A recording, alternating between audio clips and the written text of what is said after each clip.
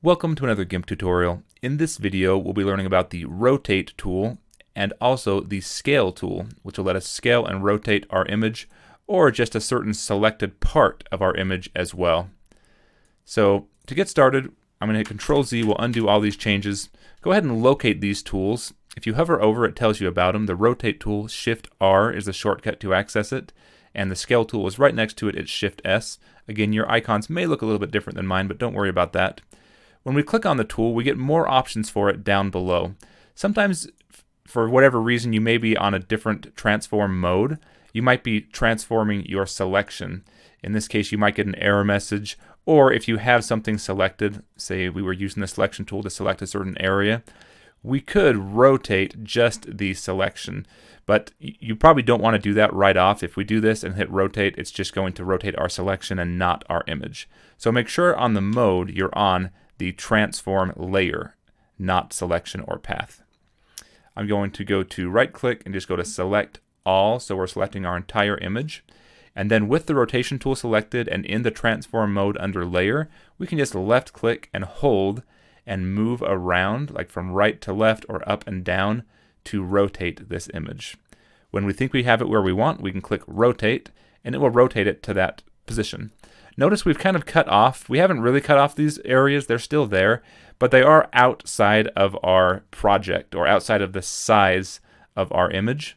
So we would need to either resize our image to get those or scale down our selection. So that brings us into the next tool. If we wanted to keep these areas and maybe put a color in over top of this transparency, we can left click and select the scale tool. And it behaves very similarly. We can just left click and hold and scale down and scale the size of our selected area, which in this case was the whole image. The scale tool also has this little box in the center. If we left click and hold that, it also has a move function. So we could move this and keep scaling it down by just left clicking and holding anywhere. Or we can also scale by dragging these little boxes on the corners. We can even scale, looks like it's going to scale uniformly, but there's some options we could change. If we wanted to squish this down, we could come over here under the options and check this box here that says keep aspect ratio, or rather uncheck it.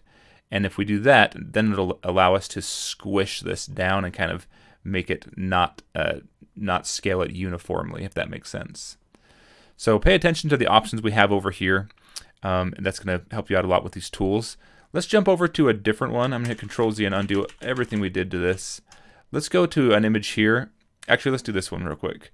So in this image, it has the horizon is sort of off. It's not level.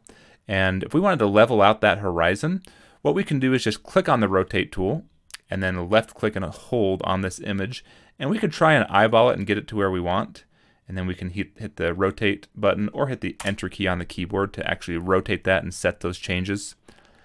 But if I do Control Z, there's another way we can do this, which is to create a guide. We can hover over up here in this where it says how uh, the size of our image, this kind of ruler area.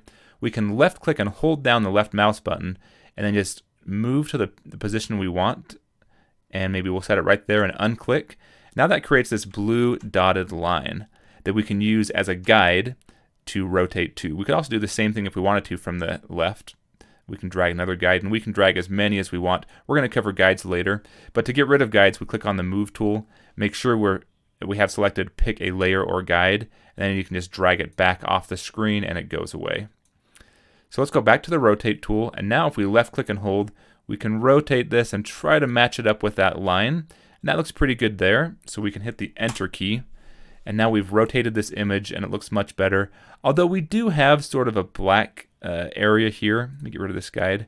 So see now we have some black corners where we rotated so we could crop in. We've learned how to do that using the crop tool. We can left click and kind of create a cropped area and sort of crop this in nice how we want it to and then hit enter. And now we've got a nice cropped image with a level horizon. So that's one method to do that. I'll show you another method as well. If you have an old image like this, this is an old World War II image from somewhere in Europe. But if we go to, to uh, if we grab the selection tool, uh, let's grab the crop tool actually.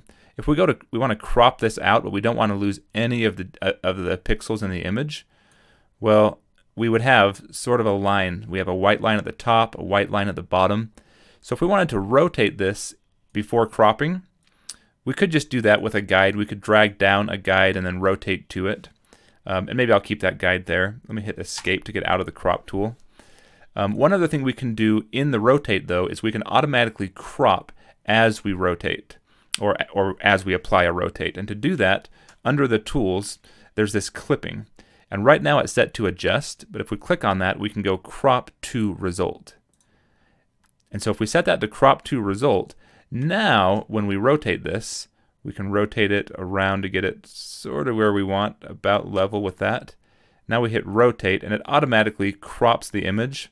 And in this case, it's it cropped it out uh, with those white pixels around. So I guess it doesn't really help us much in this case, but we can come back over and then grab the crop tool and get pretty close in there without losing uh, detail of the image and hit our enter key.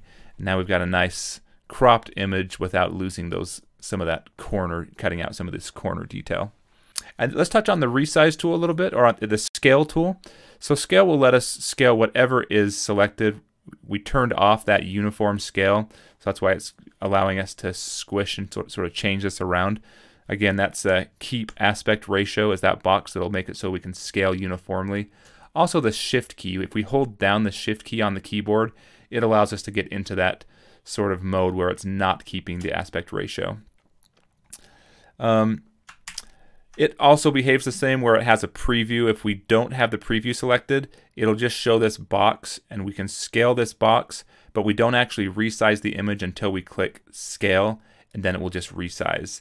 And again, notice what it's doing. If I uh, zoom out here, notice what it's really doing is scaling the image down and then keeping the size of our original image there. I'll get rid of this guide again. And so we need to crop into this. Another way to do resize if you just want to resize an image oops, is that you can come up here. This is the one I use a lot. I just go to uh, image and then go to scale image. And that gives us some more options for scaling it. If you know a certain size you want it, like 1920 wide, and this one would be like 1375 if we keep the aspect ratio. And you can even adjust the resolution to maybe something more like 96 dpi, or you can have it be, if you wanted to print it, you can do 300 or 600 dpi. We'll touch more on DPI in the future, so don't worry if, that, if that's throwing you off or you don't understand it. But here, I'm basically upscaling this image. I click scale, and it creates a larger image without cutting off the sides. I could also go to image, scale image, and make it incredibly tiny, make it maybe 64 by 64. We'll distort it a little bit and hit scale, and then it shrinks it down, but it doesn't get that transparency around the outside of our image.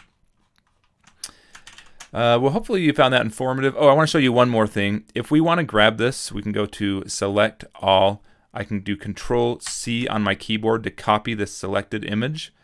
And I could go paste this. If I wanted to put it like a watermark on this image, I can go Control V, and it may be larger than I want. So what I can do is scale this down, and looks like since this image is already grayscaled, uh, it's going to put, it's not going to show color just the way that this image is. So let's put on this one instead. Control V. We have this nice image here, or this nice uh, yeah, image that we pasted on here. And we can use the scale tool to change the size of this. I need to turn that back on. We can change the size of this here, and we can also rotate it uh, around as a separate layer like we've learned in, the, in past videos. Well, hopefully that sheds some light on the rotate and the scale tools. Uh, go ahead and leave your questions and comments below if you have any, and I look forward to catching you in the next video.